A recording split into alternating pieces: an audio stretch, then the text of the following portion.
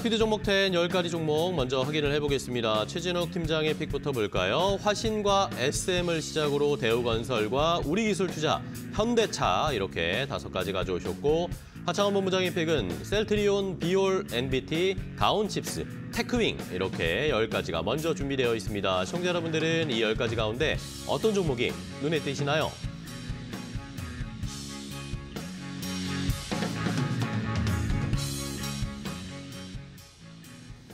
자, 두 분이 이렇게 좋은 종목 10가지를 먼저 공개해 드렸습니다. 이 리스트에 있는 종목들 보셨죠? 시청자분들. 이 리스트에 있는 종목 가운데 여러분들이 가지고 계신 종목 어떻게 대응해야 될까요? 아니면 관심이 생겨서 매수가 목표가 알려주세요. 저희에게 질문을 주시면 되겠습니다. 유튜브 라이브 댓글창과 샵 3772번 문자로 궁금한 점 보내주시면 되니까 함께 참여하시면서 종목도 얻어가시기 바랍니다. 자, 오늘도 시청자분들이 유튜브에서 크리스마스 선물을 줘라. 그런 종목이 될, 아, 종목들을 줘라, 줘라라고 지금 댓글들을 많이 달, 달아주고 계신데 자, 그러면은 어떤 종목으로 스타트를 해볼지 먼저 최진욱 팀장님의 첫 번째 종목부터 알려주시죠. 네, 저는 이제 화신을 좀 준비를 화신. 했습니다.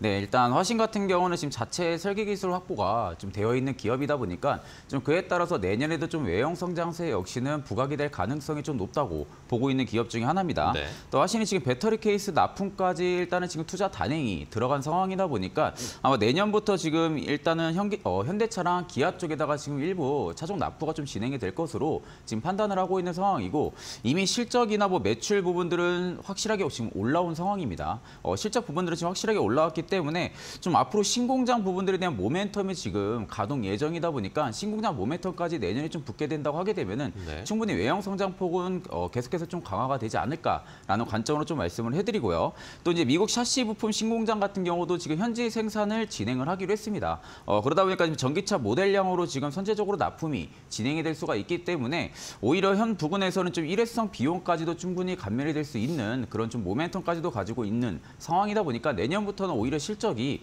현재보다 조금 더 좋아질 가능성이 좀 크다고 보고 있는 상황입니다. 네. 어, 최근에 좀 자동차 뭐 부품이나 그리고 완성차 업체들 위주로 해가지고 가격 조정폭이 좀 굉장히 강하게 나왔습니다. 어, 일단 지금 고금리 기조가 완화가 된다고 하게 되면 그만큼 성장주 밸류에 있는 섹터 중에 하나이다 보니까 어, 충분하게 내년에 좀 부각이 될 가능성이 좀 크다고 보고 있는 상황이고요. 어, 그렇기 때문에 지금 점진적으로 이 개선세는 좀 뚜렷하게 나올 가능성이 높기 때문에 관심 있게 지켜보셔도 되실 것 같습니다. 네, 알겠습니다. 자, 첫 번째 자동차 부품주를 종목으로 선정을 해 주셨고요. 자, 이번에는 하창원 본부장님의 종목을 소개해 드려야 되는데 유튜브에서 시청자분들이 하창원 본부장님 이제 안 아프시죠? 컨디션 괜찮으시죠? 라고 댓글을 달아주셨습니다. 괜찮으시죠? 네, 많이 좋아졌습니다. 네, 좋습니다. 첫 번째 종목 알려주세요, 그러면. 네, 셀트리온입니다. 셀트리온. 네, 말씀드리자마자 바로 목이 나가는데 네, 괜찮으시죠? 바, 네, 바이오 대장주를 좀 보시면 좋을 것 같은데 저는 일단은 뭐 1월 달에 JP모건 헬스케어 컨퍼런스가 있어서 바이오 쪽이 좀 핫하게 움직이긴 할 텐데 네. 제가 주목하고 있는 거는 이제 금리 인하 시기에 바이오 쪽으로 수급이 돌아오지 않을까라는 어. 좀 강한 기대감이 있습니다. 그러다 보니까 어, 바이오 쪽에서도 실적이 나오면서도 주가가 많이 꼬꾸라진 종목군들을 보셔야 되는데 일단 우리나라에서 사실 회사가 분할을 많이 하는데 합병을 좀 요번에 진행을 합니다. 셀트리온이 이제 헬스케어랑 합병을 이제 선언을 했고 이제 제약까지도 내년에 이어질 거기 때문에 좀 굉장히 좀 덩치가 커지는 이런 움직임이 나타나지 않을까라고 보여지고 있고요. 최근에 셀트리온의 리포트를 보시면 상저하고의 실적이 나올 것이다. 그러니까 하반기로 가면 갈수록 실적에 대한 흐름들도 좋아질 것이다라는 평이 나타나고 있는 상황이거든요. 그래서 큰 그림으로 보면은 실적이 이제 점점 좋아진다라는 부분들 그리고 이제 향후 합병에 대한 시너지가 계속적으로 부각이 되고 합병 이슈가 부각이 되면서 결국엔 이제 글로 벌 이제 그룹들과의 이런 경쟁이 조금 더 강해지지 않을까라는 네. 부분이고요. 아시겠지만 셀트리온은 항상 이런 투명성에 대한 부분이 어, 좀 많이 논란이 됐었던 부분들이 있습니다. 그래서 그 부분이 해소가 될 수 있고요. 어, 또 이제 램시마 SC라든지 뭐 피아 주사 쪽에 대한 이런 기대감들이 계속적으로 높아지고 있기 때문에 어, 관련된 기대감 그리고 매년 거의 신약이 나오는 회사잖아요. 그래서 이런 포트폴리오 다양화에 대한 기대감들이 여전히 좀 남아 있다라고 좀 정리를 드리겠습니다. 네, 알겠습니다. 셀트리온 첫 번째 종목으로 소개를 해주셨고요. 유튜브에서 박루시님은 어, 2024년에는 제약주들이 다시 좀 날아올랐으면 좋겠다, 아자아자라고 응원도 해주셨습니다. 자, 그럼 이번에 하차, 어, 최진욱 팀장님의 다음 종목은 뭘까요? 네, 저는 좀 SM을 좀 들고 SM. 왔습니다. 네, 일단 뭐 올해 초부터 굉장히 좀 말들이 많았었죠. 좀 그런 부분들의 요인들이 일단 SM 3.0을 통해서 좀 해소가 됐다. 않을까라는 관점으로 좀 말씀을 해드리고요. 아직 좀 카카오 엔터와의 좀 관련한 이슈가 남아 있는 상황이긴 합니다. 다만 지금 저점이 아직까지 좀 아닐 수도 있겠지만 현재 가격대는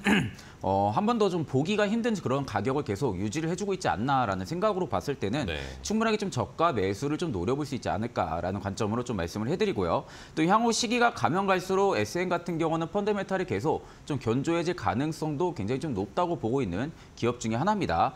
어, 현재는 지금 라이크 기획까지 좀 계약 종료까지 지금 앞두고 있는 상황이다 보니까 좀 앞으로 영업 이익률 역시 좀 빠른 속도로 좀 회복이 되지 않을까라는 관점으로 좀 말씀을 해드리고요.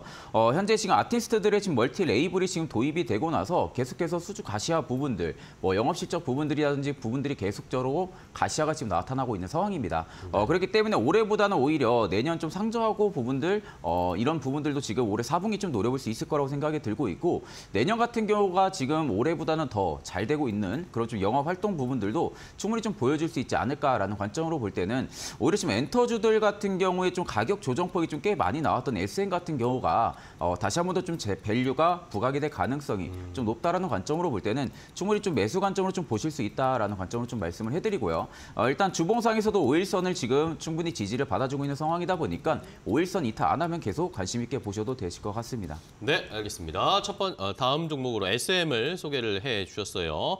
에, 엔터주들에 대한 관심도 다시 연말 들어서 내년에 대한 기대감들이 많이 이야기가 나오고 있네요.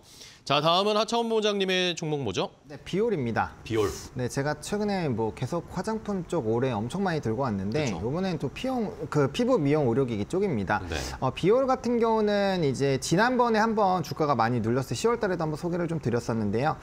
그때는 인모드발 이슈로 좀 주가가 빠졌었죠. 그리고 나서 다시 대부분의 미용 의료기기들이 회복이 됐는데 최근에 화장품도 그렇고 미용 의료기기도 그렇고 굉장히 우리나라의 이런 파급력이 좋아지고 있다라고 보시면 좋을 것 같습니다. 아직까지 우리나라 전 세계 점유율 자체가 상당히 낮아요. 한 자릿수이기 때문에 앞으로 점유율은 계속적으로 확대가 되지 않을까라고 보여주고 있고요. 우리나라는 소모품 매출 비중이 30%가 평균적으로 넘어가거든요. 그러다 보니까 어, 앞으로 이런 제품에 대한 침투력이 높아지면 질수록 이제 고정적으로 어, 소모품에 대한 매출이 높아질 수 있다라는 점을 보시면 좋을 것 같습니다. 근데 그 중에서도 비올이 이제 가장 좋은 평가를 받는 것은 이런 이제 소모품 자체를 자체 조달을 하거든요. 그러다 보니까 원가 부분을 좀 상당히 절약할 수 있다라는 장점이 좀 많이 부각이 되고 있는 상황입니다. 그리고 어, 최근에 이제 부- 어, 미국 지역이 가장 좋은 지역이긴 한데 기타적으로 뭐 브라질이라든지 기타 지역이 굉장히 높아, 높게 네. 올라오고 있거든요. 성장이 굉장히 크게 나타나고 있는데 그쪽에서 점유율이 상당히 좀 높게 형성이 되어지고 있고요. 또 이제 저, 그 기존보다 조금 비싼 뭐 비침습 고주파라든지 이런 쪽에 대한 승인 기대감이 있어서 앞으로의 성장 모멘텀은 충분히 좀 가지고 있지 않나라고 보고 있어서 어, 충분히 좀 우상향 기조를 좀 노려보셔도 괜찮지 않을까 라는 관점입니다. 네, 알겠습니다. 비올도 역시 내년에 한번 기대해 볼 만한 종목으로 소개를 해 주셨어요. 자, 이번에는 최진욱 팀장님의 다음 종목이 대우건설 가지고 오셨죠. 네. 대우건설도 유튜브에 질문이 들어왔습니다. 장투미주 님이 어, 대우건설 내년에 PF발 위기 어, 없을까요? 이게 좀 두려운데 이것과 관련해서 투자해도 괜찮을까요? 라는 의견을 주셨어요. 그러니까 아직 뭐 부동산 시장이 침체 국면인 건 사실이긴 합니다. 네. 다만 지금 이제 고금리 기조가 완화가 된다라는 부분들에 있어서 좀 건설주들도 그만큼 좀 많이 가격적인 메리트 구간대까지 내려와 있는 상황이다 보니까 어, 충분하게 지금 좀 부각이 될 가능성은 저는 좀 내년 초창기에는 좀 많지 않을까라는 네. 관점으로 좀 말씀을 해드리고 그러면 이제 그 안에서 건설주 중에서도 충분히 뭐 해외 수주 부분들이 있어서 활동이 좀 활발하고 뭐 수주 부분 들이 굉장히 좀 증가해질 수 있는 그런 기업들을 좀 공략을 해야 된다고 생각을 합니다. 어, 그중에 좀 대표적인 하나가 저는 좀 대우건설이라고 좀 생각을 하고 있는 상황이고 뭐 현재 지금 나이지리아라든지 뭐 이라크 항만 쪽에 있어서 신규 프로젝트 부분들까지도 여전히 좀 견조한 부분들을 계속해서 보여주고 있다 보니까 매출 기여는 내년에도 계속 지속이 될 가능성이 좀 높은 기업이다라는 관점으로 좀 말씀해드리고요. 또 지금 재무구조 같은 경우도 계속해서 지금 개선세가 나타나고 있는 상황이다 보니까 오히려 지금 검사로 쪽 내에서는 좀 안정적인 실적 부분 들이 내년에 좀 뚜렷하게 나와줄 가능성이 좀 크지 않을까라는 관점으로 좀 말씀을 해드립니다. 그래서 내년 같은 경우에 지금 대우건설이 긍정적인 해외 수주까지도 충분히 좀 기대를 해볼 수가 있는 상황이다 보니까 오히려 지금 국내 부동산 시장 침체기에도 해외 수주 쪽이 굉장히 잘 되고 있는 상황입니다. 어, 그러다 보니까 오히려 좀 해외밭 어, 관련해서 좀 모멘텀이 내년에 충분히 좀 부각이 될 가능성이 좀 높은 기업이라고 생각을 하고 있고 그만큼 대우건설이 수주 잔고도 지금 많이 확보를 해두고 있는 상황이다 보니까 안정적인 실적은 계속 좀 견인이 될 가능성이 가능성이 좀 높은 기업이라고 보고 있는 상황입니다. 어, 그렇기 때문에 현재 지금 제가 보기에 쌍바닥을 확실하게 일봉상에서도 나타내주고 있는 모습으로 판단이 들고 있기 때문에 어, 크게 지금 하락이 안 나온다라고 하게 되면 충분히 분할 매수 관점으로 땡. 접근하시면 되실 것 같습니다. 알겠습니다. 대우건설 자세하게 설명을 들어봤습니다. 자 이번에는 하창원 본부장님의 세 번째 종목입니다. 네, MBT입니다. MBT. 오늘은 좀 광고 관련된 종목들이 좀 쉬어가고 있는데 저는 뭐 앞으로 좀 좋아지지 않을까라는 생각이 들고 있거든요. 네. 일단 아프리카 TV 쪽이나 뭐 기타 이제 치즈직 쪽으로 어, 트위치가 철수를 하면서 사실 조금 관심도가 많이 높아질 수 있는 상황이잖아요. 아직까지 철수를 안 했지만 분명 이제 움직임이 나타나면서 지각 변동이 나올 수가 있습니다. 보통 네. 요럴 때 어, 좀큰 폭의 변화가 생기면 거기에 따라서 좀 연관되는 종목군들이 좀 급등이 나오기 마련이거든요. 왜냐하면 플랫폼 관련된 종목군들은 그렇게 많지 않기 때문에 여기 광고 쪽으로 좀 수급이 파급돼서 좀 연관된 섹터를 만들 수가 있고요. 일단 NBT 같은 경우는 이제 offerwall이라고 해서 뭐 네이버 웹툰이나 이런 페이 쪽에서 지속적인 광고를 하고 있었고 네. 사실 거기에서 좀 긍정적인 평가가 나와서 최근에도 주가의 기조가 상당히 좀 좋았었습니다. 그래서 어, 좀 좋은 리포트 바탕으로 좀 좋은 흐름들이 나타났었던 과거 전례가 있고요. 앞으로 이런 이제 offerwall 쪽이 사실 사람들이 상당히 많이 사용을 하고 있거든요. 뭐 걷는데 이제 캐시 찍히는 거나 이런 것들에서의 광고 매출이 좀 안정적으로 나타나고 있고 이전에 좀 업황이 호황기일 때 주가의 후- 움직임들은 뭐 만 원대 중반 정도를 좀 월등히 움직 였었거든요. 근데 최근에 주가가 계속적으로 좀 바닥권에 있었다라는 점 그리고 어, 한번 고점을 찍은 이후에 좀 강하게 절반 이상의 조정이 나온 다음에 다시 재뚫고 있는 상황이어서 뭐 충분히 좀 강한 기조들이 나타나지 않을까라고 보여주고 있고요. 단기적으로 이게 9,500원에서 만원 라인이 좀 통곡의 벽이긴 합니다. 그래서 이 라인이 오- 도착을 하면은 빠르게 한 번 정도씩은 좀 정리해 보실 필요는 있지 않을까 정도로 정리를 드리겠습니다. 네, 알겠습니다. 광고 관련 종목으로 MBT 살펴볼 필요가 있다라는 의견 주셨고요. 자 이번에는 최 진욱 팀장님 다음 종목 뭘까요? 네, 저는 지금 우리 기술 투자를 좀 준비를 투자. 했습니다. 네, 일단 뭐 지금 현재 최근 가격적인 좀 강하게 나왔던 부분들이 비트코인이 좀 많이 빠지다 보니까 좀 그에 따른 가격 조정들이 좀 나와준 부분이라고 좀 생각을 하시면 되시고 아직까지는 좀 비트코인 쪽이 강세장이 저는 끝났다고 생각을 하지 않습니다. 네. 오히려 내년 같은 경우 지금 1월에 ETF 승인에 대한 기대 모멘텀은 여전히 지금 남아 있을 거라고 생각이 들고 그렇게 된다고 하게 되면은 가상화폐 관련주 쪽의 수급이 오히려 내년까지도 충분히 이어질 가능성이 저는 좀 높다고 보고 있는 상황입니다. 또 내년 4월에도 지금 비트코인의 반감기까지 앞두고 있는 상황이다 보니까 좀 확실하게 수급적인 면이 지금 죽은 상황이 아니라 오히려 좀 한 차례 쉬어갔다가 다시 한 번 더 폭발적인 수급이 좀 쏠릴 가능성이 좀 높다라는 관점으로 볼 때는 오히려 지금 가격 조정을 좀 굉장히 건강하게 준 상황이다 보니까 충분히 신규분들도 분할 매수 관점으로 접근이 가능하지 않을까라는 관점으로 좀 말씀을 해드리고요. 어, 일단 추가적으로 지금 비트코인의 거래소 같은 경우도 최근에 입출굴량이 지표의 값이 0 이하로 계속해서 내려와 있는 상태입니다. 어, 그만큼 지금 거래소에서 매도되는 물량들이 지금 계속해서 줄어들고 있다는 말로 볼 수가 있기 때문에 지금 비트코인이 가면 갈수록 어, 매도 압력이 현저히 좀 낮아지고 있는 그런 추세로 계속 유지가 되고 있는 상태거든요. 어, 현재 상황에서는 오히려 크게 뭐 악재가 나와가지고 비트코인이 파동을 깨지 않는 이상은 계속해서 지금 가격 상승 메리트가 나타날 가능성이 높기 때문에 그에 그로 인해 가지고 오히려 가상화폐 관련주들이 좀 후발주로 움직일 가능성이 좀 큰데 그 안에서도 대장 역할하고 있는 우리기술 투자 같은 경우가 충분히 수급적인 부분들은 계속해서 내년 초창기까지도 살아날 가능성이 좀 높다고 보고 있는 상황입니다. 네, 알겠습니다. 자, 우리 기술 투자까지 비트코인의 한번 흐름 내년에 기대하시는 분들 많으실 텐데 관련해서 우리 기술 투자도 잘 살펴보셔야 되겠습니다. 자, 이번에는 하청원 본부장님의 다음 종목을 또 살펴봐야 될 텐데 가온칩스 네. 주셨죠. 가온칩스도 유튜브에서 시청자분이 질문을 주셨습니다. 내년부터 실적이 폭발할 걸로 예상이 되는데 어, 괜찮겠죠? 가온칩스 어느 정도의 매수가에 진입을 하면 좋을까요? 라고 질문 주셨습니다. 어, 사실 이제 오늘 딱 분위기가 굉장히 좋을 것 같아서 제가 좀 선정을 했는데 네. 오늘 좀 많이 급등이 나왔습니다. 그래서 어, 지금 시점에서는 이전 고점들을 강하게 돌파를 했기 때문에 네. 좀 추가적인 상승력을 좀 더 열어놓 으실 필요는 있는데 이게 오일선과 이격이 지금 엄청나게 많이 벌어졌거든요. 네. 한25% 정도가 오일선과 이격이 벌어져 있기 때문에 아마 약간의 좀 이 키높이를 맞추는 한 2, 3거래 정도의 조정이 나올 수는 있습니다. 그래서 그거 참고하셔가지고 어, 좀 보시면 좋을 것 같고요. 만약에 기존에 가지고 계셨다라고 한다면 이 흐름에서 조금 더 유지를 해보시면 좋을 것 같아요. 만약 신규 매수를 좀 접근을 한다라고 한다면 53,500원 라인이 지지가 되는 걸 확인을 하시고 들어가시는 게 상당히 좀 안정적이다라고 보시면 좋을 것 같습니다. 그래서 오일선 조정 나오면서 53,500원 여기 53,500원부터 54,500원 요 사이가 깨지지 않는 걸 확인하시고 그 안에서 좀 분할 매수 관점으로 보시면 좋을 것 같고요. 어, 사실 이제 오늘은 수주 관련된 부분을 좀 부각이 되긴 했지만 뭐 디자인 하우스라든지 라든지 이런 이제 IP 관련된 회사들이 사실 그렇게까지 주가가 올라가진 못했습니다. 오히려 온디바이스라든지 이런 기타 어, 이슈가 있는 쪽이 좀 급등이 나왔기 때문에 그런 부분에서 좀 안정적인 성장이 나타나지 않을까라고 보여주고 있고요. 말씀을 해주신 것처럼 내년에 실적이 굉장히 좀 좋아질 것으로 기대가 되고 있는 상황이거든요. 그래서 그런 것들이 가시화가 되면 될수록 조금 소급해서 당겨올 수 있다라는 점 그리고 내년 2분기까지는 반도체가 주도주 역할을 좀 반드시 해줄 거라고 믿음이 굉장히 좀 높은 상황이죠. 턴업 상황이기 때문에 그래서 그러한 흐름들이 좀 따라갈 수 있기 때문에 일단은 지금 뭐 긍정적으로 보셔도 좋을 것 같다라고 정리드리겠습니다. 네, 알겠습니다. 가온칩스 오늘 급등세가 좀 나오고 있는데 어쨌든 조금의 조정이 나올 때 접근하는 건 필요할 것 같습니다.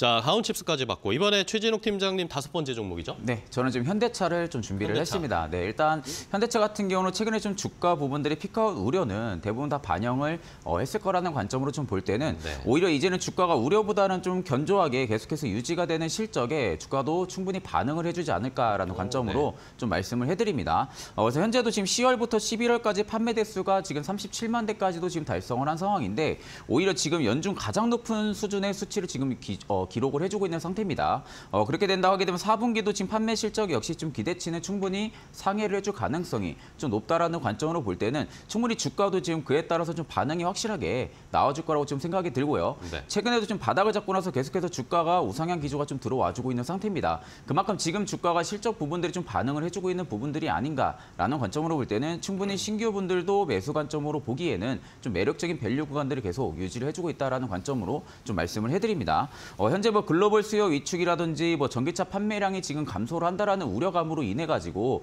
뭐 그만큼 자동차 뭐 OEM 업체들이나 좀 자동차 부품 쪽이 어, 주가가 좀 강세폭도 강하게 나오지가 못했습니다. 어, 다만 지금 뭐 내연 기관이라든지 뭐 하이브리드 차량 위주로 지금 판매가 계속 확대가 되고 있는 상황이다 보니까 오히려 지금 성장세는 내년에도 계속될 유지 어, 계속 유지가 될 가능성이 좀 높다라는 관점으로 볼 때는 충분히 좀 관심 있게 지켜보셔도 나쁘지 않을 거라고 보고 있고요. 네. 주봉상에서도 이미 꽤 오랜 기간 동안 어, 상단 채널을 못 들었었는데 최근에 돌파를 해줬습니다. 어, 그렇기 때문에 충분하게 지금 부분에서 어, 좀 중장기적으로 보셔도 되실 것 같습니다. 알겠습니다. 현대차 계속해서 좋은 흐름 나타내고 있는데 내년까지 저희도 지켜보도록 하겠고요. 자, 이번에는 하창원 본부장님의 다섯 번째입니다.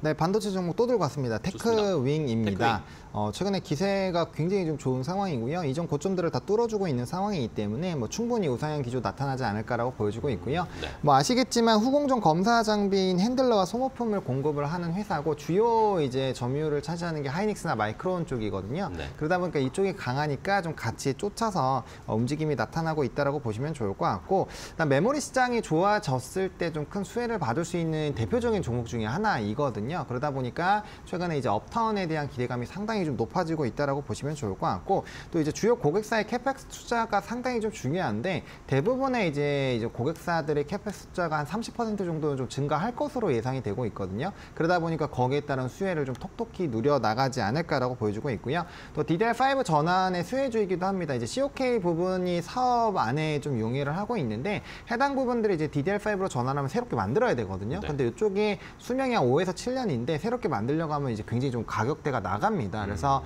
이제 신규 제품들이 나올 때마다 사실 어 이제 고 고마진의 상품들이 늘어날 수 있는 상황이고요. 그다음 DDR5 같은 경우가 아직까지 침투율이 한 13%인데 이게 내년에는 40% 정도까지도 확대가 될 거라고 보여주고 있기 때문에 COK 부품에 대한 수요는 좀 굉장히 많이 늘어나지 않을까라고 보여주고 있는 상황이고요. 그리고 HBM 쪽에서도 고속 핸들러를 개발을 하고 있기 때문에 관련된 부분이 부각이 되면 또 추가적인 상승력 크게 나올 수 있지 않을까라고 정리를 드리겠습니다. 네, 알겠습니다. 자, 이렇게 테크인까지 두 분이 열가지 종목을 먼저 소개를 해드렸습니다. 저희가 이렇게 전해드리는 방송 내용은 시청자 여러분들의 투자에 참고가 되는 내용을 알려드리는 겁니다. 최종 투자 판단과 결정은 시청자 여러분들께서 직접 내려주셔야 한다는 것 다시 한번 강조를 드리겠고요.